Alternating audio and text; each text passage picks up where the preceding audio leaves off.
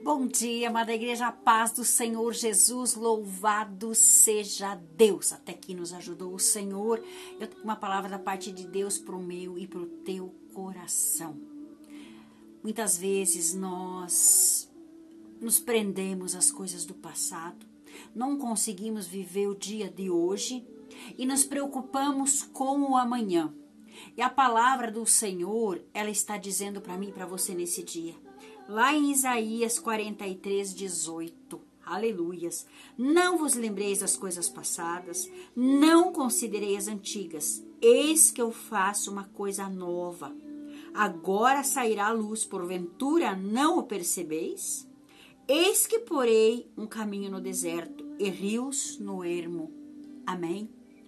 A palavra está dizendo para mim e para você não nos lembrar, relembrar, porque o que o inimigo das nossas almas faz? Com que nós ficamos relembrando das coisas que passou, das afrontas, das palavras duras que nós recebemos, das coisas que que fizeram para nós e que muitas vezes nós temos perdas irreparáveis e nós não conseguimos avançar.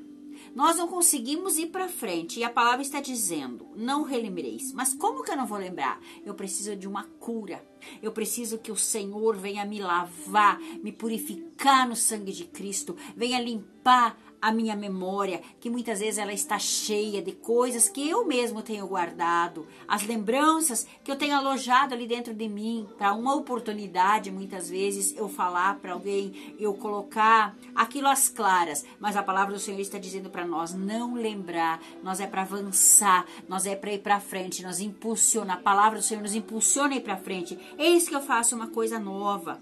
Porventura não percebeis? Eu porei um caminho no deserto. Mas como que eu vou andar? O Senhor está dizendo que aonde eu não enxergo, aonde é deserto, aonde é difícil, o Senhor está dizendo que Ele está colocando um caminho para mim e para você. Mas eu, eu e você precisamos aderir à palavra de Deus e ter essa confiança de dizer que se Cristo comigo vai, eu irei, independente aonde eu vou passar, mas o Senhor está conosco, porque lá no deserto, no durante o dia, aquele sol escaldante, o Senhor enviava uma nuvem para fazer sombra.